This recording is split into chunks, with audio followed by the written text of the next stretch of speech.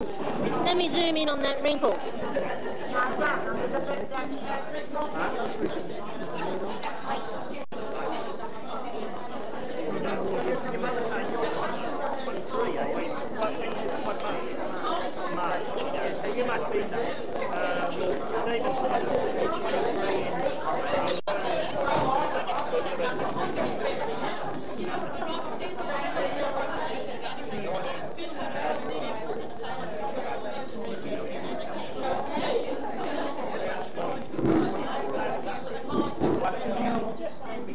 Thank you.